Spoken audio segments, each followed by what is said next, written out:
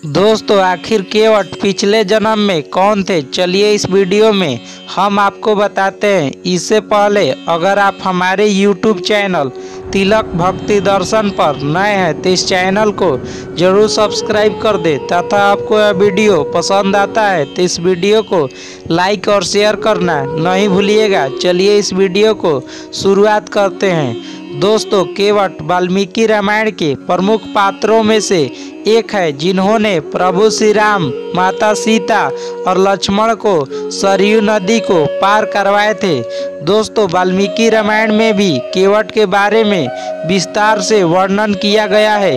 कहते हैं कि सृष्टि के आरंभ में केवट का जन्म हुआ था, तब धरती जलमग्न थी। वह एक कछुए के रूप में जन्मे थे और उसी रूप में भगवान विष्णु के भक्त थे, तब उस समय कछुए ने मोक्ष पाने की हार्दिक इच्छा के साथ भगवान विष्णु के अंगूठे को स्पर्श करने की कोशिश की, लेकिन इस कोशिश में वह असफल रहा। इस घटना के बाद केवट ने अपने पूर्व जन्म यानी कछुए के रूप में कई वर्षों तक तप किया और भगवान ने उसके तप को देखते हुए केवट को मानव के रूप में जन्म दिए।